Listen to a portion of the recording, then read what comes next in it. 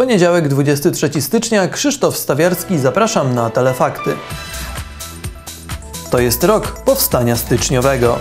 Chcielibyśmy co jakiś czas y, przypominać o tych wydarzeniach. Inwestycje w szpitalu będą służyć pacjentom. Będziemy się starali zmieniać oblicze tego szpitala każdego dnia. Babcia i dziadek bohaterami weekendu. Panie przygotowały zajęcia, które tego święta będą dotyczyły. Choć już od kilku dni służy pacjentom i pomaga w diagnozie lekarzom, to dziś oficjalnie tomograf zakupiony do Ostrowieckiego Szpitala został przekazany do użytku. Przebudowa pomieszczeń na parterze wielospecjalistycznego szpitala w Ostrowcu Świętokrzyskim trwała kilka miesięcy. Wyremontowano hol, a tam gdzie był kiedyś SOR, jest teraz oddział rehabilitacji i fizjoterapii oraz pracownia diagnostyczna z nowym tomografem. Bardzo się cieszę, że otwieramy dzisiaj nową pracownię tomografii komputerowej z nowoczesnym tomografem oraz Państwo widzicie jakby przygotowaną fizjoterapię na rehabilitację pokowidową. Kupno tomografu było konieczne. Dotychczasowy sprzęt, którym dysponował szpital, miał ponad 10 lat i był awaryjny. Na zakup tomografu powiat otrzymał 3,5 miliona złotych z funduszy rządowych, na przebudowę parteru w skrzydle B pół miliona złotych. Z tego miejsca chcę serdecznie podziękować szczególnie dwóm osobom, które się przyczyniły do pozyskania tych środków e, i na tomograf, e, i na rehabilitację pokowidową. Dziękuję Panie Wojewodo bardzo serdecznie. I dziękuję, I dziękuję posłowi Andrzejowi Kryjowi, który nas bardzo tutaj wspierał i mam nadzieję, że to nie będzie koniec. Dziękuję bardzo.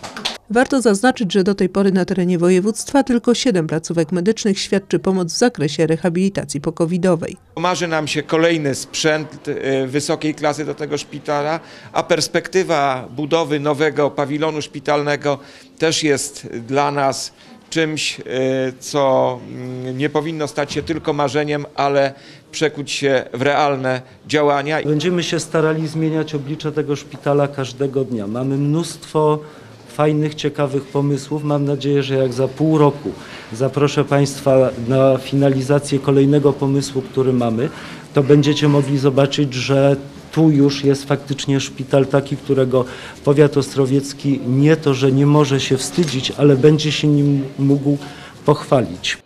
Potrzeb w szpitalu ostrowieckim jest wiele. Zarząd powiatu nie ukrywa, że pomoc jest potrzebna i to z każdej strony. W tej chwili szykujemy kolejną zmianę, e, czyli będzie większa wycena, czyli to są dodatkowe środki dla szpitala i oczywiście ta praca państwa, która była wykonana w ubiegłym roku, również zostanie doceniona w miesiącu marcu i wartość e, państwa ryczałtu zostanie zwiększona w 100% o wartość wykonanej pracy e, za cały 2023 rok. Nowy tomograf, oddział rehabilitacji to kolejne inwestycje, które bez wątpienia wpłyną na jakość usług i powinny przełożyć się na satysfakcję pacjentów. O tym, że Szpital Ostrowiecki jest wiodącą placówką, to ja nie muszę Was przekonywać, ale tak naprawdę o skali i o aspiracjach to może świadczyć to, co byłem świadkiem parę miesięcy temu. Ten widok z góry, z dachu, z lądowiska, co mówi o jednym. Macie niekończące się aspiracje, tego Wam gratuluję. Gratulacje i podziękowania dla personelu Ostrowieckiego Szpitala przekazał również reprezentujący senatora Jarosława Rusieckiego radny Artur Głąb.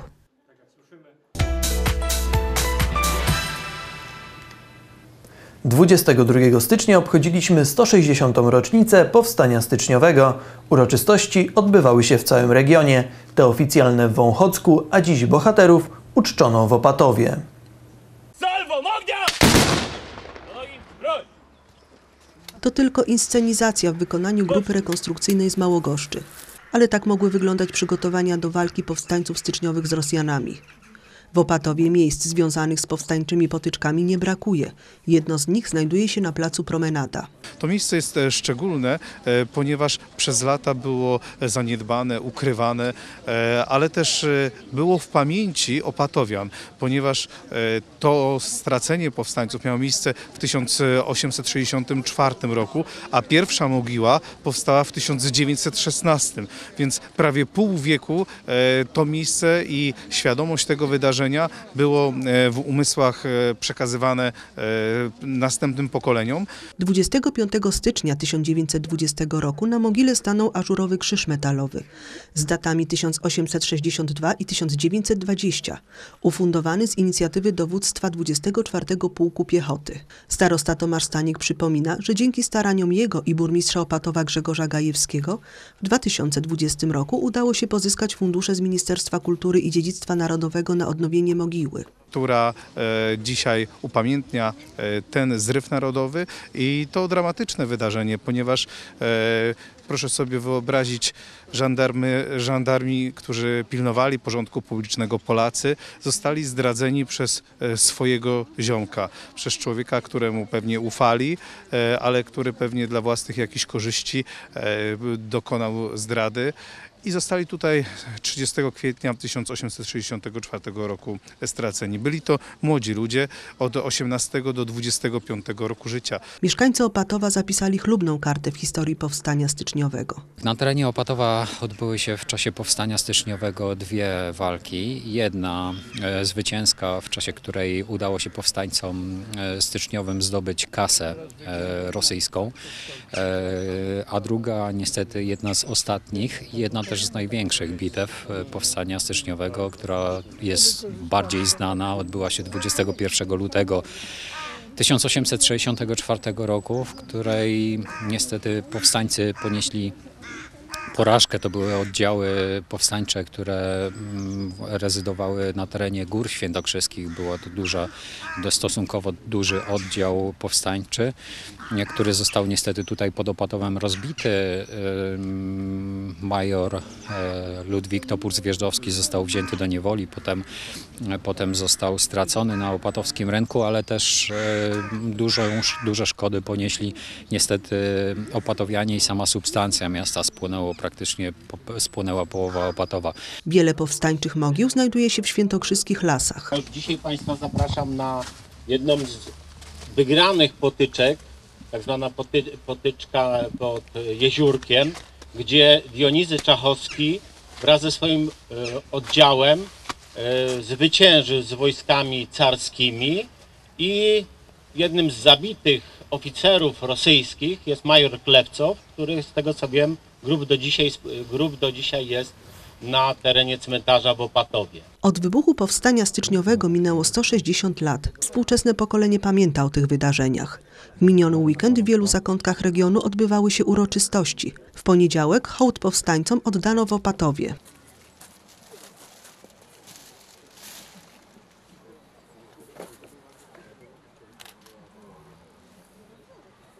To jest też lekcja dla nas, e, że wolność nie jest nam dana raz na zawsze. Przed pomnikiem powieszonych powstańców wartę honorową zaciągnęła młodzież klas mundurowych i opatowskich szkół.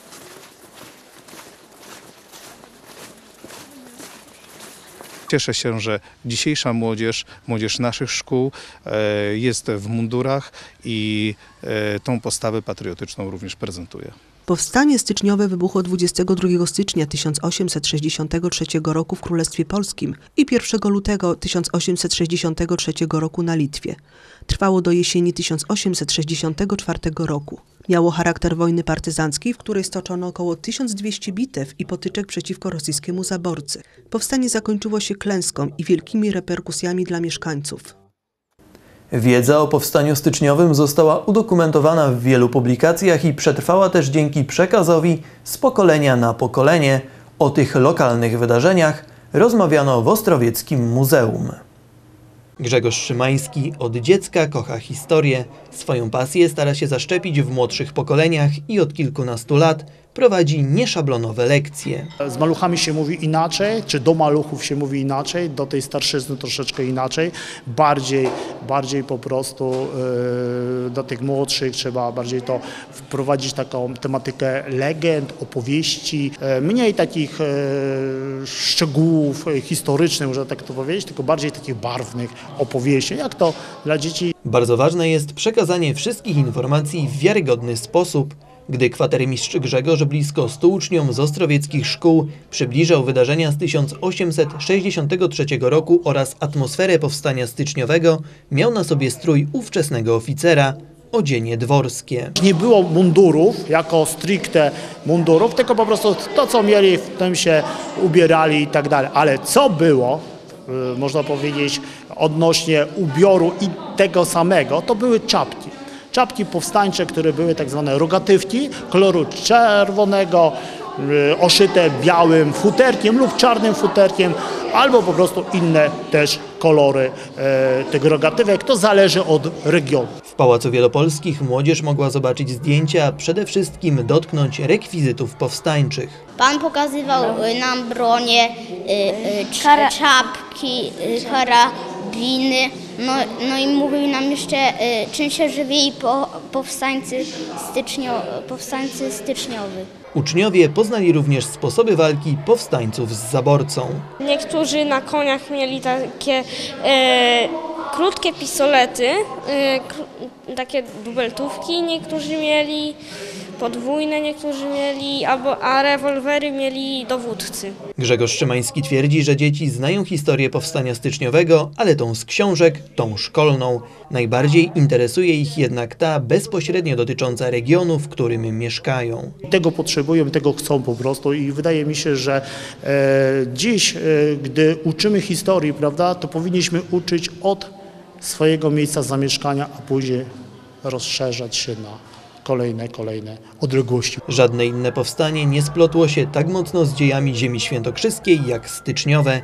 Stoczono tu kilkanaście potyczek i bitew. To tutaj też y, właśnie operowali ze swoimi wojskami najważniejsi dowódcy powstania y, z Marianem Lęgiewiczem, Dionizem Czachowskim czy Józefem Hałkie, Hałkę Bosakiem na czele. I, I właśnie w związku z tym, że rok 2023 jest takim, można powiedzieć, rokiem y, powstańczym, y, chcielibyśmy co jakiś czas y, przypominać o tych wydarzeniach sprzed 160 lat. O powstaniu styczniowym w tym roku będzie głośno. Już w ferie odbędą się zajęcia o symbolach tego powstania. Na początku maja przygotujemy, przygotowujemy dużą inscenizację bitwy pod Borią Jeziorkiem. To jest bitwa, takie odtworzenie bitwy stoczonej przez Dionizego Czachowskiego w rejonie Krzemionek w dniach 4-5 maja 1963 roku. I ta inscenizacja również e, odbędzie się w rejonie Krzemionek w dniu 6 maja. Na podsumowanie roku powstania styczniowego pracownicy muzeum planują zorganizować konferencję naukową poświęconą przede wszystkim historii tego narodowego zrywu na ziemi ostrowieckiej.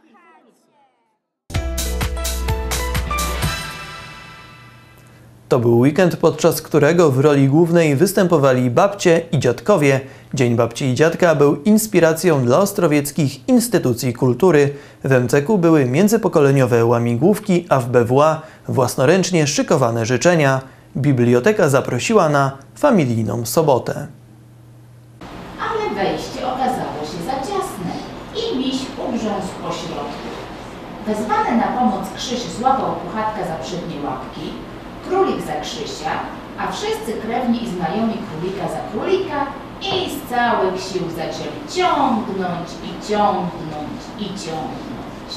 Bajką o Kubusiu Puchatku i jego przyjaciołach rozpoczęto zajęcia w ramach familijnej soboty z babcią i dziadkiem. Za co kochasz babcię i dziadka? Okej, babciu i dziadku, słuchamy. Pytanie jest, za co kochasz babcię i dziadka? Mati. Że nas bardzo. Biblioteka to jest takie miejsce, które ma e, gromadzić ludzi w bardzo różnym wieku, gromadzić ponad podziałami. Po szczerych odpowiedziach na wylosowane pytania i wykonaniu prac plastycznych przyszła pora na niespodziankę. Zaprosiliśmy dzisiaj i panie przyjęły nasze zaproszenie, nazwijmy to z sekcji teatralnej Uniwersytetu Trzeciego Wieku. Panie mają dzisiaj wystąpić z takim małym przedstawieniem, które będzie dotyczyło oczywiście tego wyjątkowego święta. Przedstawimy fajną bajkę o mądrym wnur, o mądrym dziadku i psotnym wnuczku. Spektakl przygotowano na podstawie książki Jadwigi Kozierackiej pod tytułem Niezwykłe przygody Koralaka i Koralaczka w Krainie Tajemnic. Jest to historia troszeczkę fantastyczna, bo dzieje się jak gdyby w głębi morza. Dzieci poznają rybki, żabki i inne zwierzątka. Puentą bajki jest to, o czym młodzież powinna pamiętać każdego dnia o szacunku do osób starszych. Dziś oficjalnie w Okole oddano do użytku dom seniora. Zobaczmy jak było, a jak jest.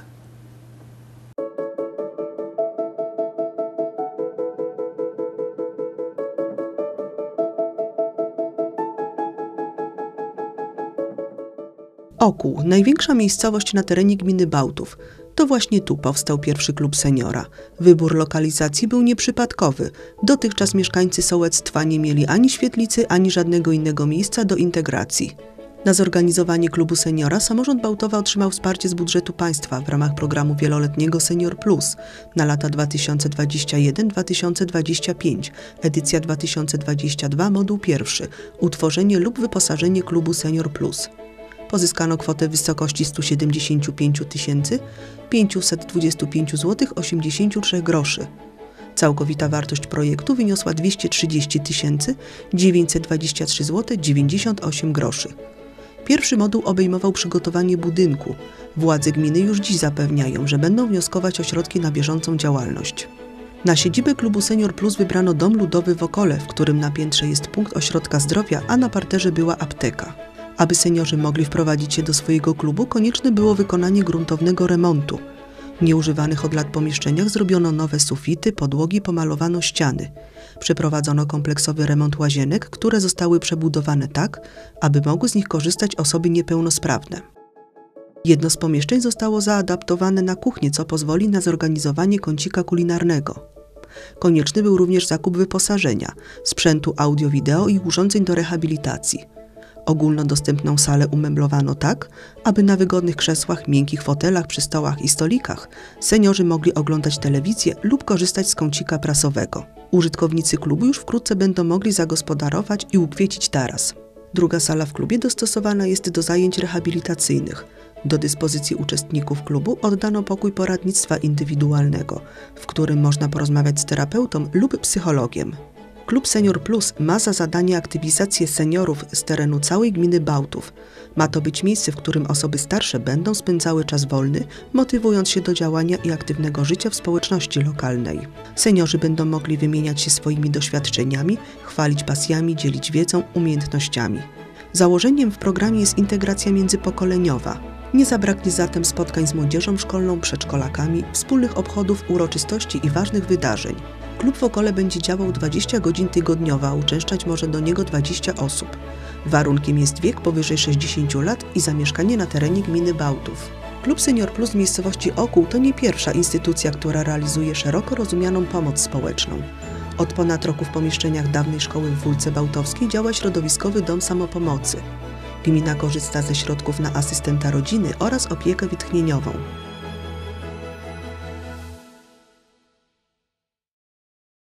Relacje z oficjalnego otwarcia przygotujemy jutro. Dziś to już wszystko. Dziękuję za uwagę. Do zobaczenia.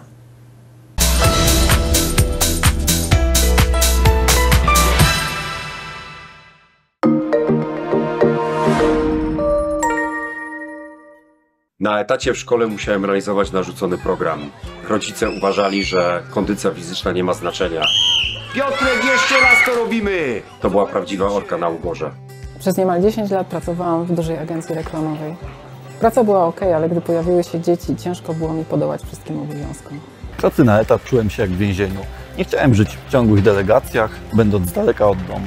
Marzenia trzeba spełniać. Mam własny klub sportowy, prowadzę zajęcia dla dzieci, młodzieży, jak i dorosłych. Od ponad 17 lat jestem właścicielem własnej agencji reklamowej. Pracy momentalnie jest więcej, ale mogę dysponować swobodnie czasem. To jest ważne, kiedy ma się dzieci i starszych rodziców. Tworząc rowery dla osób niepełnosprawnych, mogę realizować swoje pasje, a także pomagać innym. Praca na własny rachunek ma sens. Tak jest lepiej, o wszystkim decyduję sama. Pracując dla siebie, czuję się wolnym człowiekiem. Agnieszka. Marcin. Sebastian. Nexera to nowy wymiar światłowodu w Twoim regionie. To jeden kabel z internetem od różnych dostawców. Raz zamontowany daje dostęp do szerokiego wyboru firm i ich najlepszych ofert, a zmieniając dostawcę internetu nie musisz demontować kabla i wykonywać kolejnych remontów. Światłowód Nexery to super szybki i stabilny dostęp do internetu niezależnie od pogody. Wygodna praca na wielu urządzeniach jednocześnie i wolność wyboru dostawcy. Jesteśmy w Twoim zasięgu. Zamów usługę u kogo chcesz. Sprawdź na www.nexera.pl. Smacznej pogody życzy sponsor. Pizzeria da Grasso w Ostrowcu Świętokrzyskim.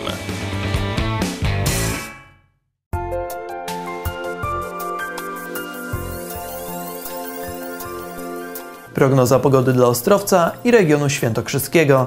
W nocy minus 4 stopnie Celsjusza, wiatr 6 km na godzinę, ciśnienie 1036 hektopaskali. Jutro 4 stopnie Celsjusza, wiatr 14 km na godzinę, ciśnienie 1036 hektopaskali, biometr niekorzystny.